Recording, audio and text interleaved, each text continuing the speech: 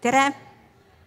minu nimi on Maila Tuum ja ma tulen Ida-Tallinna Keskhaigla äh, laboratooriumist.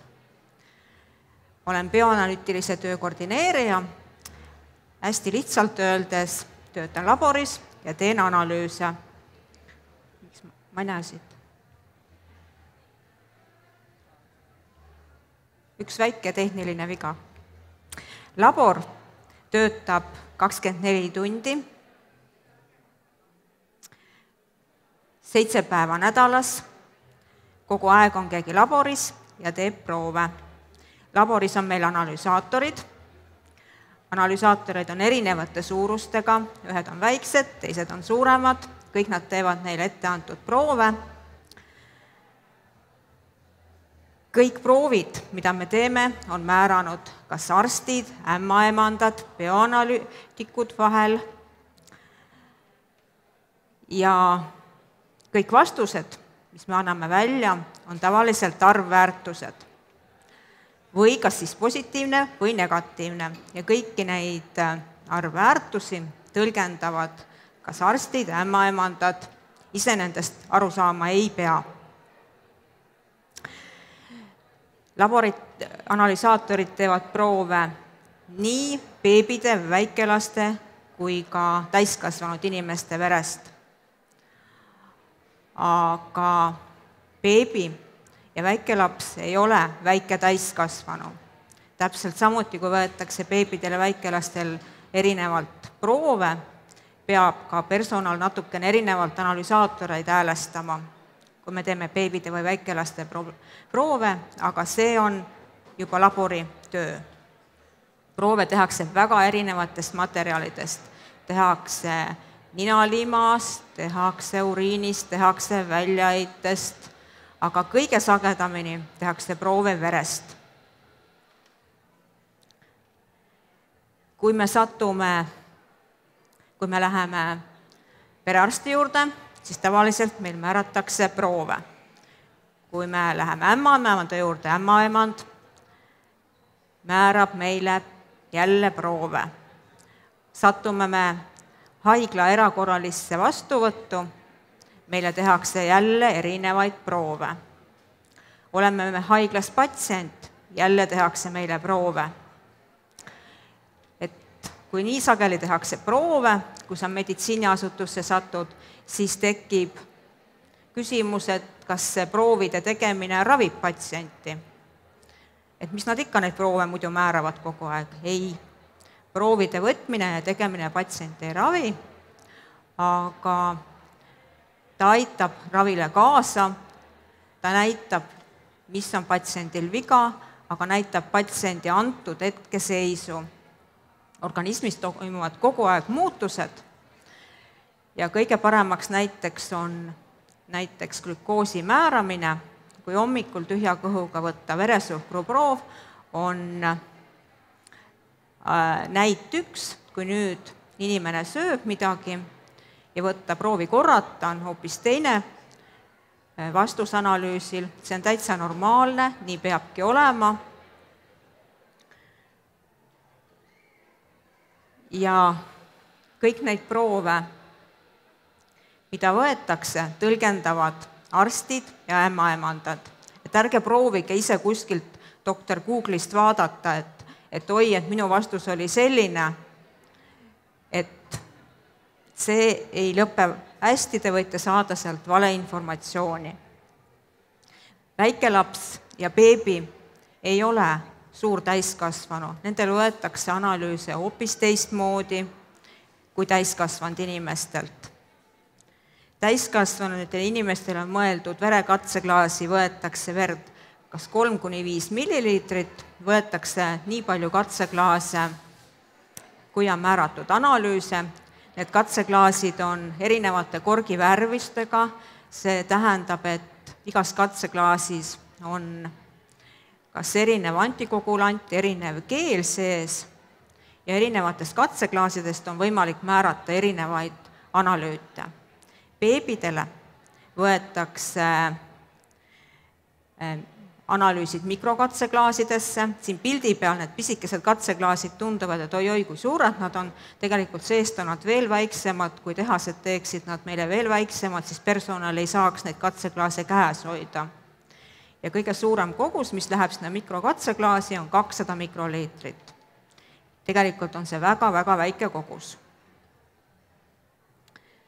enamus vereproove võetakse veeniverest, võetakse ka vastsündinul vastsündinul kõige parem koht veeniverd võtta on peaveenid, need on hästi nähtavad ja neid on, saab mm, turvaliselt punkteerida. see, et võetakse peaveenidest, võib lapsevanemat äh, ehmatada. et, äh, et kuidas nüüd peast nõelaga. aga koljuluu kaitseb last ja see on üks turvalisemaid kohti, kus võtta vastsündinule väikesel beebil veeniverd.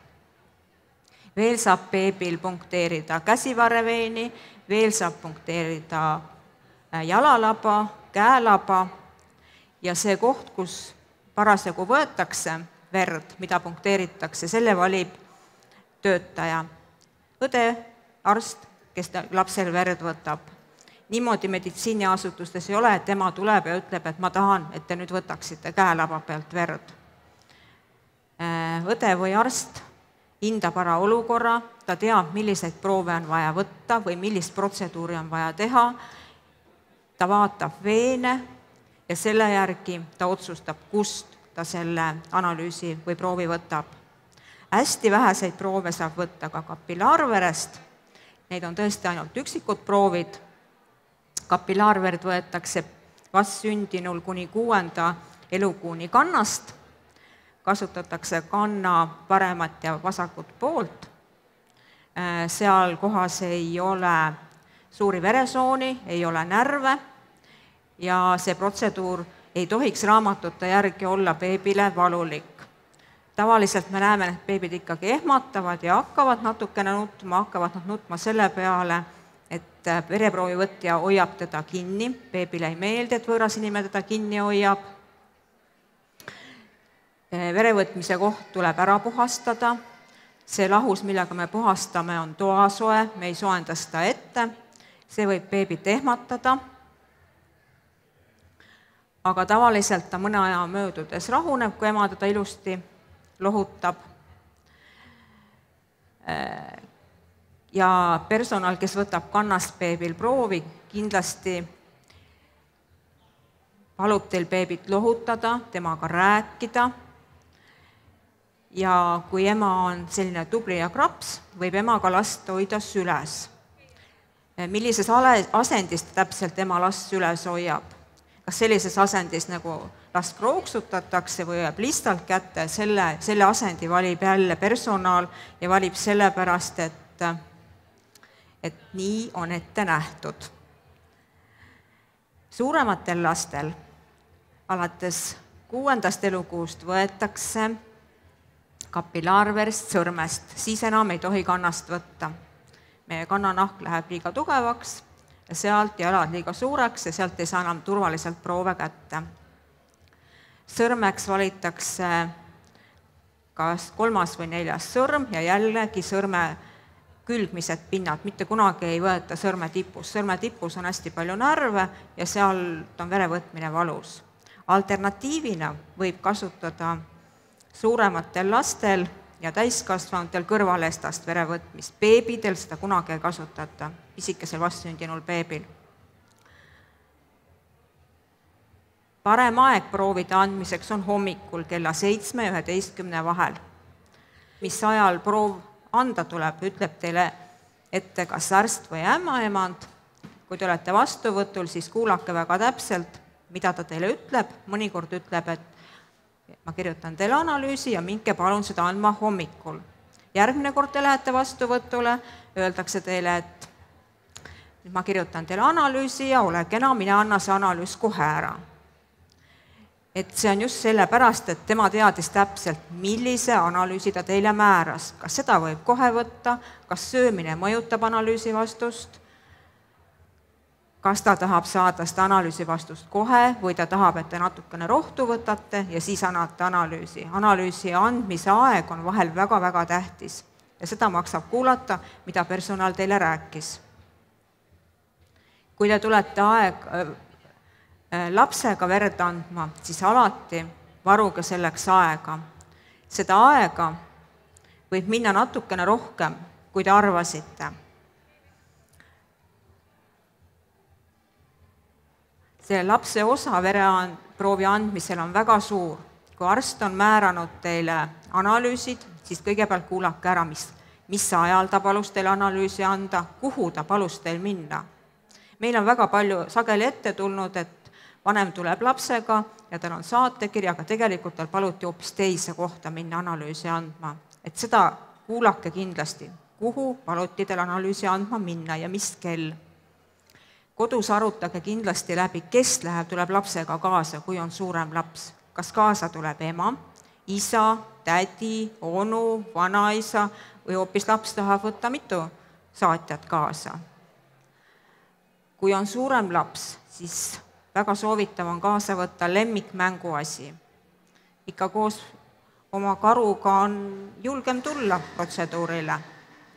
proovige lapsele seletada, miks tal proove võetakse. see ei ole sugugi kerge, seletada lapsele, paariaastasele lapsele, et miks peab proove võtma, aga mingi motiveeriva lause te ikkagi peate leidma kui te tulete lapsega proovi andma ja väljas on külm, siis pange lapsele kätte kindad. vereproovi andma tulles peavad lapse käed olema soojad ja puhtad. kui on pisikene beebi, siis pange palun jalga talle villased, kas villasest või siidist sokid, et nad oleksid naturaalsest materjalist, kunstkiussokid on küll väga ilusad, aga nad ei soojenda lapse jalga piisavalt. kui lapse jalg on külm, siis tavaliselt personal enne soojendab kas lapse jalga või lapse kätt, siis veri voolab paremini. kui lapsel on tekkinud hirm meditsiiniliste protseduuride vastu, siis on soovitav osta talle mänguasjad, millega saab mängida arsti, arstiriistade komplekt. siis äh, väike laps saab kodus karu kõhtu kuulata, saab karule süsti teha, saab karu käpale peale panna plaastrit. ja see aitab väga palju kaasa, et need protseduurid on temale juba tuttavad ja ta täpselt teab, mis seal tehakse meie juures. ja kindlasti ei tohi last hirmutada meditsiiniliste protseduuridega kodus kui lapsel tekib hirm äh, vere andmise ees, tal tekib hirm kõigi meditsiiniliste protseduuride ees. Ja ta nutab hüsteeriliselt, siis mõningaid verenäitasi võib tema hüsteeriline nutt muuta, näiteks leukotsüütide arv võib tõusta ja te võit-, me anname välja teile vale vastuse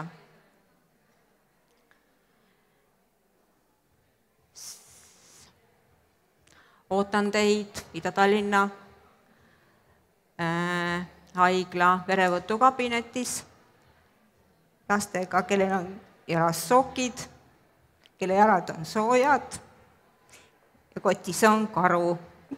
aitäh!